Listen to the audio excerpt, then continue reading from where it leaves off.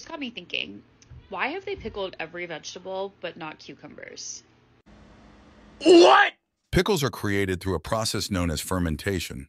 Cucumbers are submerged in a brine solution made of water and salt.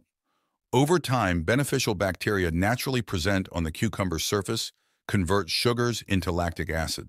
This fermentation process not only preserves the cucumbers, extending their shelf life, but also imparts the characteristic sour flavor associated with pickles.